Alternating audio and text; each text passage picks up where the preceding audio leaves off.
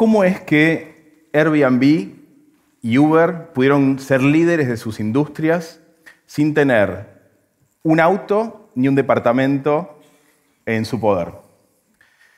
Lo hicieron creando confianza entre la gente.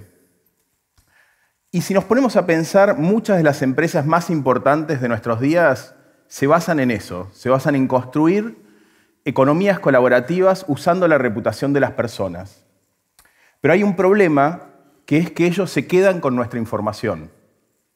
Pero eso va a cambiar porque hace unos 10 años, de la mano de Bitcoin, nació el primer registro, el primer libro inhackeable, en el cual no solamente podemos registrar transferencias de dinero, sino que podemos registrar todas las cosas que nosotros hacemos en nuestra vida.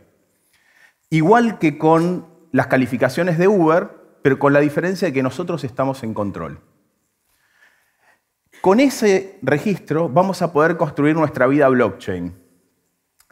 Y con esa vida blockchain vamos a poder interactuar con cualquier persona del planeta, vamos a poder construir nuestras propias economías colaborativas y va a ser el inicio del fin de las fronteras.